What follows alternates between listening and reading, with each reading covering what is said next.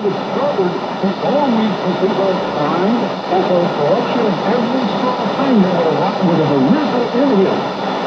And yet he was able, by the grace of God, to see past that, to see through that, and say, God is bringing me exactly the way I need to go. He's accomplishing something that is awesome, and I'm, I said, I'm, I'm rejoicing in it. I'm not down. I'm not saying, oh God, I'm such a, I'm just so fine. I'm, I'm a the grace of God, and I'm on a pathway that He has engineered. And it's, that's something, it's great. I'm proud to be grateful. Onward up, praise God. And so Clown talks about the, uh, you know, what he has been given and how impossible it is. And, uh, you know, I, I just summarized little bits of chapter three. He talks about how some of these other guys, they got some letters saying, hey, these guys great, well, listen to him. Paul says, yeah, I got a letter too.